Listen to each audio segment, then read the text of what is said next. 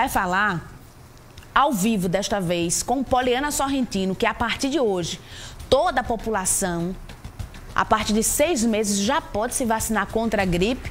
João Tiago, conta aí pra gente como é que faz para receber essa vacina, hein? Eu já vou me vacinar todo ano participe dessa vacinação, graças a Deus, Oi, né? Já, se a partir desta segunda-feira a vacinação relacionada à influenza foi aberta para todo o público que tem mais de seis meses de idade.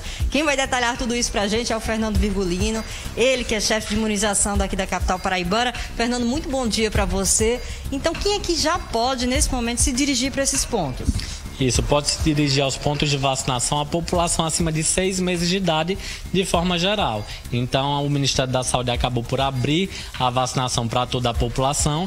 Aqui em João Pessoa, nós temos mais de 100 pontos de vacinação que, que estão distribuídos nas unidades de saúde da família, que é o posto de saúde mais próximo de casa, que funciona de 7 às 11, de meio-dia às 16.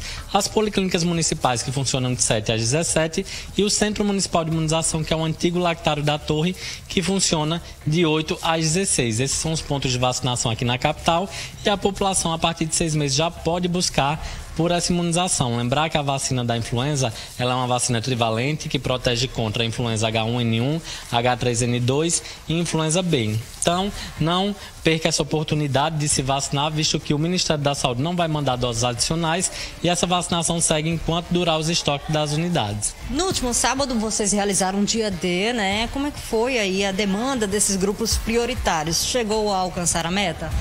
A meta de vacinação para a campanha da influenza é de 90%. Nós vacinamos na capital cerca de 140 mil pessoas e isso corresponde a um quantitativo de 45% da população alvo. A meta dessa campanha era 90%.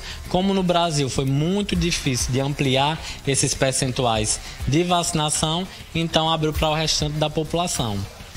Vamos ressaltar para as pessoas que se vacinaram recentemente relacionada à Covid, quantos dias elas podem aguardar para tomar a vacina relacionada à influenza, Fernando? Isso, quem já tomou a vacina da Covid deve ter aí um espaçamento de tempo de 14 dias entre a primeira dose da Covid e a vacina da influenza. Se você já tem 14 dias completos da vacina da Covid, pode tomar tranquilamente a vacina da influenza sem, sem haver prejuízo nenhum à soroconversão da vacina Covid e nem a da influenza. E aguardar o tempo certo para fazer a segunda dose. Até mesmo entre a primeira dose e a segunda dose, como o nosso cinegrafista aqui, Valfredo Galdês, ele já tomou, não foi, Val? A primeira dose e ele tem comorbidade, aí acabou tomando agora nesse espaço de tempo a da influenza, enquanto aguarda a segunda dose da Covid. Isso aí é possível, é interessante as pessoas fazerem também.